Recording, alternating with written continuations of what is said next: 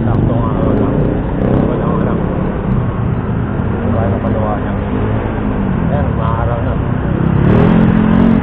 Ah, sana makita nyo yung liliwanag pa siya pag umaraw.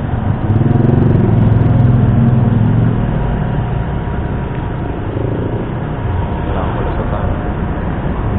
Hindi ko alam kung naririnig nyo ako. Try lang natin.